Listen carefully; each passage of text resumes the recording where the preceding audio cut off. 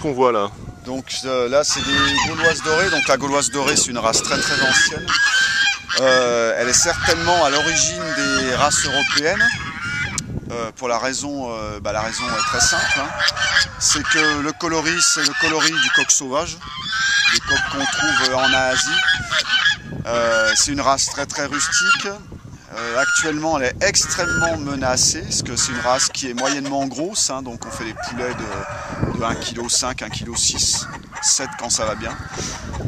C'est une race qui s'envole assez facilement, donc il faut euh, ou un filet, euh, ou un filet au-dessus de sa tête. C'est bon, enfin bon, voilà. Euh, au niveau de la ponte, c'est très très moyen. Euh, je pense que là sur ma souche, quand j'arrive à 120 œufs dans l'année, là c'est le maximum. Quoi.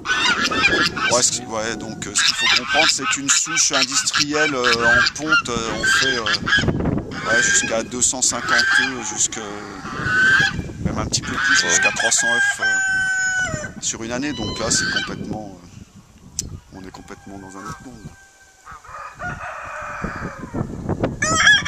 C'est une race qui a, enfin, on peut dire qu'il y en avait en France, bah, dans la France entière. quoi. Ouais.